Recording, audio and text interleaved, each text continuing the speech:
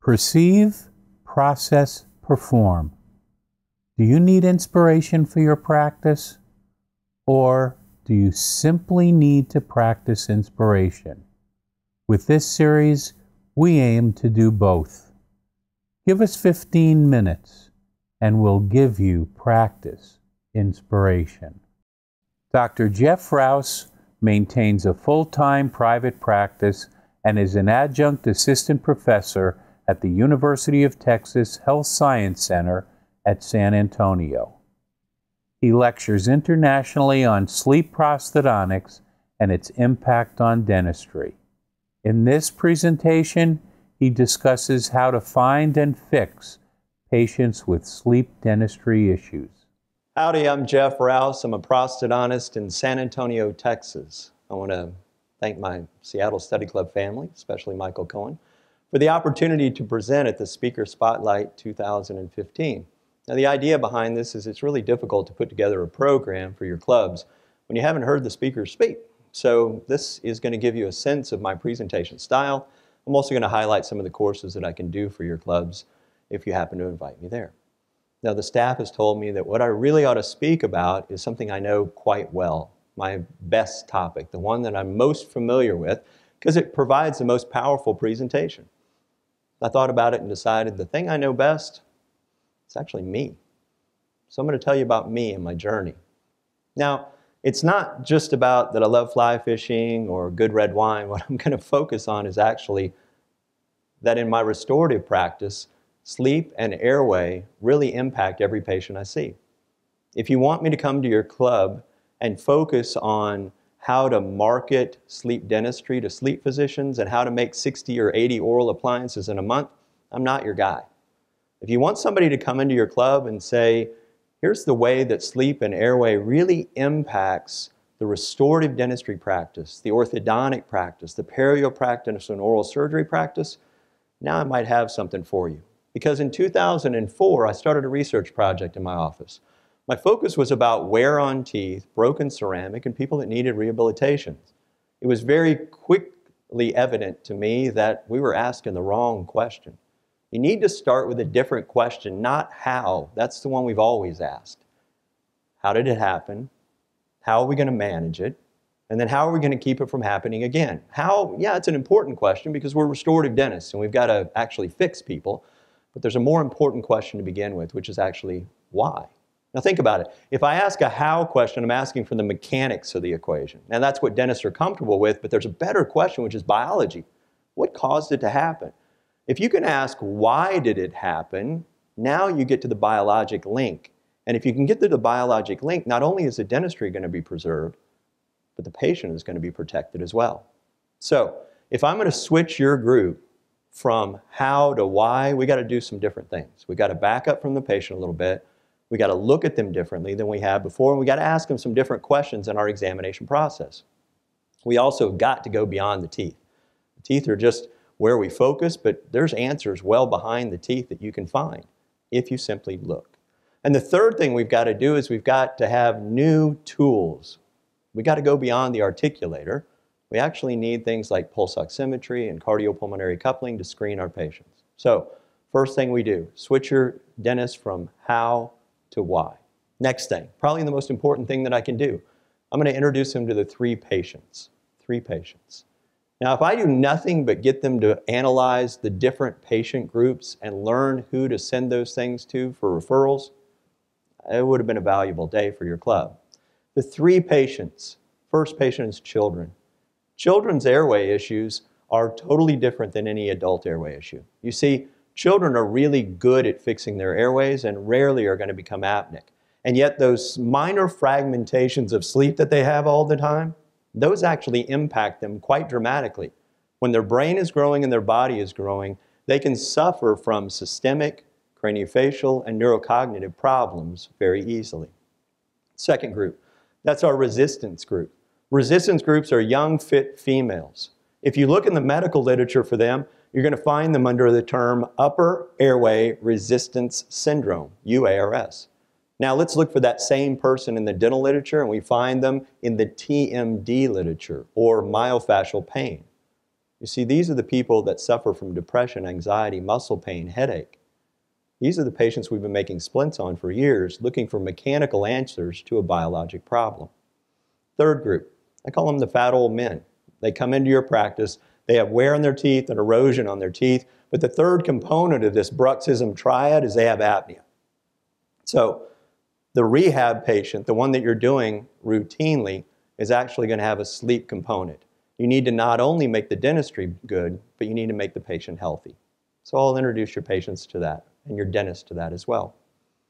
That lecture is called Sleep Prosthodontics, but a better way to think of it is Find Jake. So who's Jake? Jake's actually my 10-year-old. See, Jake had airway issues from the moment he was born. I just didn't know it. I was about a year and a half behind in figuring it out. So every time he had a problem, I just didn't know what was going on. Three surgeries and a bunch of ortho later, he's almost fixed, but Jake will suffer a lifetime of me missing the problem. Jake has ADHD, he's got dyslexia, dyscalculia, dysgraphia. So Jake would be different if I knew this information before. Now, when we focus on Jake, it doesn't have to be a 10-year-old kid. It can be a mom, a dad, a brother, a sister, your best friend. It can be kids or grandkids as well, obviously. But it could be you. So, we're going to find Jake and learn what to do with Jake, where to get him to get help. That's usually where we stopped with most of the study clubs in the past. That was a one course, we were all done. But people kept bugging. I mean, they would email me constantly about, uh, you need to help me fix this person. You need to help me fix. And it's probably the most amazing thing and experience that I've had in doing dentistry is actually the gratitude coming from the people in your study club. So I decided to do the next course, which is how to fix Jake. So we're going to find him. The next course is we're going to fix him.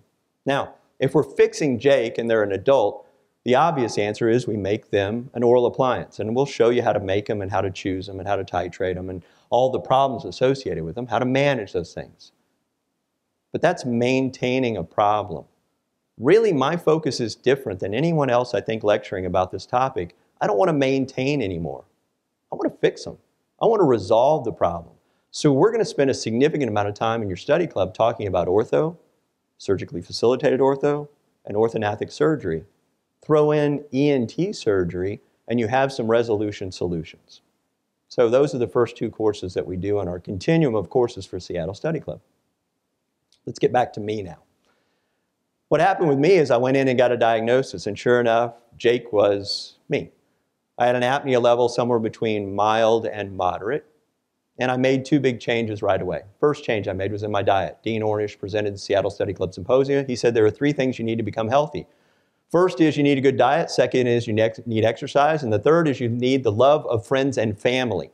I went back and immediately became a vegan which cost me the love of friends and family. So I switched it to vegetarian. Now, I travel a lot, and that still isn't really the greatest. Think about being vegetarian on Thanksgiving. Think about being it when you go to your study club and you take me to dinner at your favorite steak joint, and I have to have a piece of asparagus. So I added fish into my diet. Feeling better, looking better, I think that's a great diet for me. Second thing I did, I made an oral appliance for myself. But I am like all people with human, the human nature of wearing an appliance. About two and a half years into it, I was tired of it.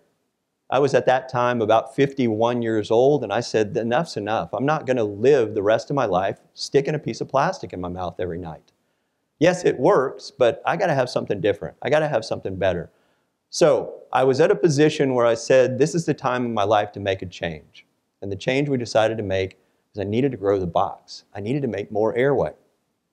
So I had craniofacial problems that were, from an aesthetic dental standpoint, had been taken care of with veneers years before. So in 1987, I had veneers placed on my teeth. They did a good job of aesthetically masking some of the problems that I had. Now, as a dentist, you can see the problems. You can see that depression, sort of an airway-based occlusion type of problem. But step one in my evolution and revolution is I had to cut the veneers off. I had to get back to where I was before. So that was our first thing that we did, is we got the veneers cut off. And then you can look at the arch form and tell there's an airway problem there. You see normal shaped arches that were developed with the tongue and the roof of the mouth, breathing through your nose, do not develop in a V shape. It's impossible. So if this was a denture, what I would do to it is I would warm the wax, I'd move the teeth, expand the arch, and actually I would change the mold of the teeth because the teeth are too narrow. By doing that expansion, I'm going to also improve the airway. So I went to my orthodontist and I said, that's what I want to do. That's what I would do with the denture, do it to my mouth. But the orthodontist said, I'm limited by the bone. If you push the teeth out, you're going to go right past the bone, and we can't do that, Jeff. Now, there's a revolution going on in ortho right now as well that we'll talk to your study club about. The revolution is exactly the same revolution that happened in surgery. You see, in 1988, when I started doing implant dentistry, I would get cases back where the implants were in horrible positions, and the surgeon's note would say that's where there was bone. By the mid 90s, we no longer accepted that's where there's bone. We said grow the bone. I don't get implants in the wrong place anymore. We grow the bone, we make it happen. Well, that's what's happening in orthodontics now. If you need the teeth out in a position, you grow the bone, and so that's what we decided to do.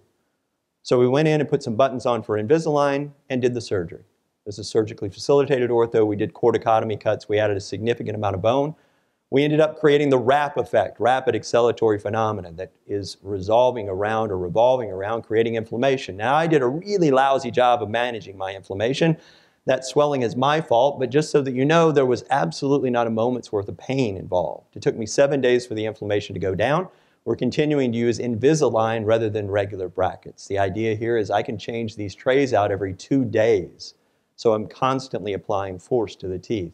We have TADs in there to start working on the class 3 bite. And I'm using an AcceleDent um, device in order to create vibration on the teeth that takes the RAP effect and extends it a few more weeks. That's what I'm doing to my mouth. And four weeks, or excuse me, four months into it, we're getting some resolution. We're changing things.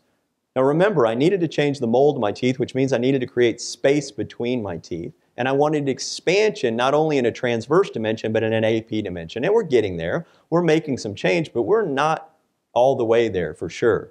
So if you're not all the way there, what do you do? Well, of course, you do the surgery again. So in August, we went back in and redid the surgery, did the corticotomy cuts, put more bone in place, and there we are. So seven months of actual treatment time later, we've done what? Well, the answer is not create an ugly smile. The answer is we created the space that we needed in order to do what I wanted done. So we're going to have to show the orthodontist how to finish the case from here. But before we get to that, I want to show you the change we made. You see, this was an airway induced malocclusion that I had in my mouth. And we used the third molars as anchorage points, so they didn't move at all. That's the expansion we were able to achieve. Let's do it again. That's where I started. That's where I was when I was ready for the provisionals. Now, why is that so important? It's incredibly important because the new literature out of the world of airway tells us that if I create the expansion I need to get the tongue out of a low posture and up into my mouth, I can breathe through my nose. Why is breathing through your nose important? Because you don't get apnea when you breathe through your nose. Two and a half times less collapsible airway. The simple use of decongestants can resolve apnea in some patients. The most famous sleep physician in the world says you're not done with the case until they can breathe through their nose 24 7. Nasal breathing is incredibly important. And now what did I do? I created the volume to allow me to actually do that. Problem was, I'm now 52, and I've never in my life been breathing through my nose all night long. So I need some physical therapy. In fact, we teach your group how to do that as well. It's called the Buteyko breathing technique. It's actually designed for all day long, but there's a nighttime application where you do use some tape. Now I know it looks silly putting a piece of tape on your mouth. But that piece of tape has given me the best night's sleep I've ever had. Now, we've done ortho. We're going to do the veneers in a minute. We're doing the mouth taping. If all of that doesn't still resolve my airway issue, I have a deviated septum that can be fixed. Once again, we're going to talk about ENT surgeries to your group to show them what the ENT can do for you. Now, outside of the booklet, not listed as courses that I teach, are things that I do every day in my practice. I'm a prosthodontist, and I teach our residents how to do these things. So we can teach hands-on courses and actually how to mock this thing up.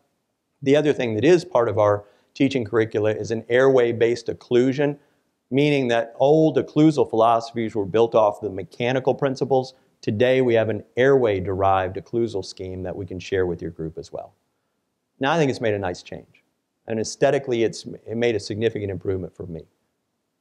But that's really not all that important. You see, if it was the big stage at Seattle Study Club, I'd probably cut it off right there because it's such a cool looking difference between the two. Even though we're not done, right? I still have some work to do on the upper arch in order to finalize the ortho and do the veneers.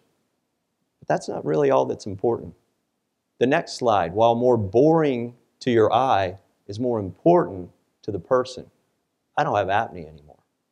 So I went from a person that was dying young with this apnea to a person that's going to live forever, I hope.